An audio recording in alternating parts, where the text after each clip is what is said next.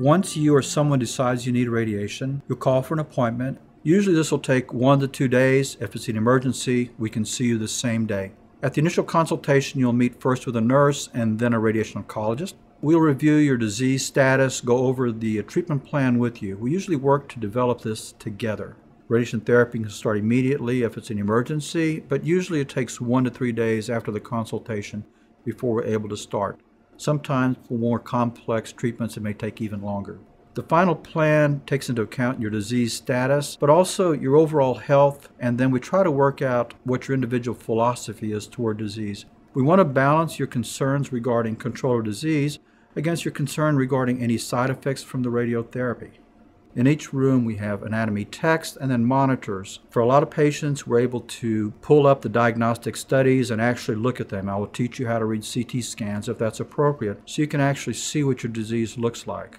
Texas Oncology uses the very latest technology of CT simulation versus older techniques where you'd have to lay in a table completely immobilized for one to two hours. This is a very rapid process. It takes only 10 to 15 minutes.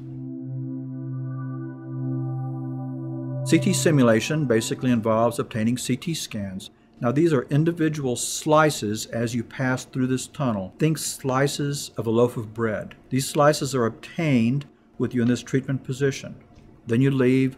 The individual slices are then sent to me at another computer and we'll reassemble these to produce a virtual patient. Again, think restacking the bread slices to produce the original loaf. We can then determine which direction the radiation will enter the body.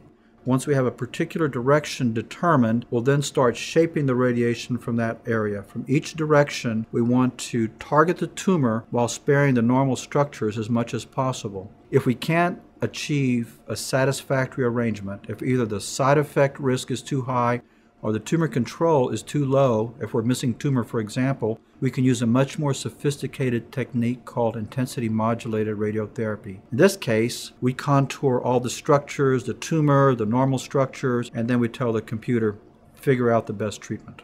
Once we've determined the beam angles and the shape of the beam from each direction, a prescription is written, which is how much radiation we want to give to a particular area. This data is then sent to a dosimetrist. The dosimetrist will take the beam information and the prescription, as well as information about the treatment machine itself, and produce an actual plan which shows us how much radiation is being deposited in each of the structures. This is a very precise process, and the radiation oncologist will review this plan make arrangements to give more radiation here, less radiation here, shape this beam a little bit more until we have a final optimized treatment plan.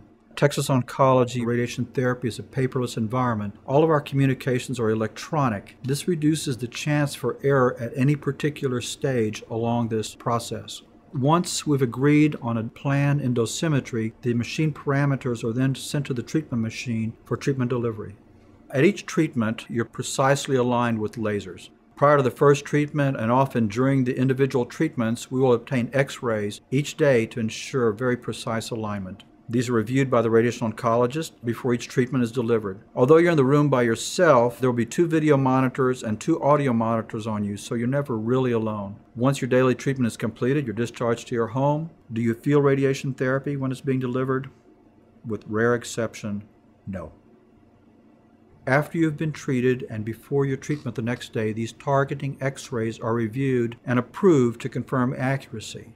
Although these are x rays, they're not diagnostic quality x rays, so they won't really give us insight into the actual state of your disease. Side effects can occur during radiation therapy and often do. It'll depend on the area we're treating, whether you're getting simultaneous chemotherapy, how much radiation we're administering per day, what the total dose is, and just generally what your performance status is. I myself have been writing a manual on managing side effects since 1994, and I'm proud to say it's currently in its ninth edition. I will see you at least once a week to answer any questions and try to keep you on track. And the nurse will go over the potential side effects, answer questions, tell you what we will do to try to keep them from happening, and what we do if they do occur. Our goal is to get you through this as comfortably as possible. Once treatments are completed, you're usually seen at three weeks in a routine follow-up. If you're having some more problems at the end of radiation therapy, I'll see you sooner or more often. Depending upon the disease and how many other physicians you're seeing, this may be the last time I see you, or you may continue follow up at the radiation center. If our goal is the relief of pain or other symptoms, you usually start to see some benefit by the end of radiotherapy or up to three weeks. Once benefit starts developing, you'll see this continue for anywhere from four to six weeks. If our goal is cure, you'll be followed as you hopefully achieve complete remission, which means no clinical evidence of disease and then you will continue to be followed. Different cancers require that you be in complete remission for different lengths of time before we can use that magic word cure.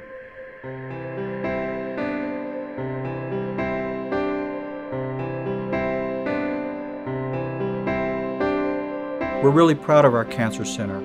It's a combination of technology, facility design, and staff. It produces a very caring and really a curative environment. At Texas Oncology, we recognize that your first chance for cure is the best chance for cure. We want to give you the best chance there is.